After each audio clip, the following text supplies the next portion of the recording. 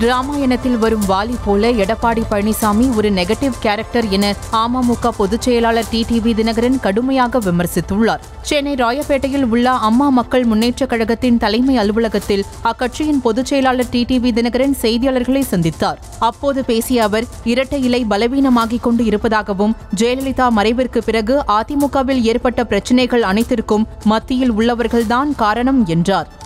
நான் ரெண்ட அம்மா அவர்கள் மறைவுக்கு பிறகு அம்மாவுடைய கட்சியில் ஏற்பட்ட அத்தனை நிகழ்ச்சிகளுக்கும் காரணமே மத்தியில் ஆள்பவர்கள் தான்.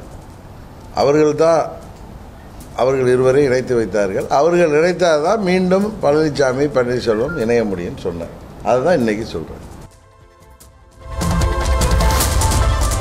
திண்டுக்கல் மாவட்டம் கொடைக்கானல் மலைப்பகுதியில் சாலையோரங்களில் பூத்து குலுங்கும் ஜிகரண்டா பூக்களை சுற்றுலா பயணிகள் கண்டு ரசித்தனர். கோடை காலத்தை வரவேற்கும் விதமாகவும் கொடைக்கானல் மலைப்பகுதிகளில் சாலையோரங்களில் இருபுறமும் உள்ள மரங்களில் இளநீல ஊதா நிறத்தில் மரம் முழுவதும் ஜிகரண்டா மலர்கள் பூத்து குலுங்குகின்றன.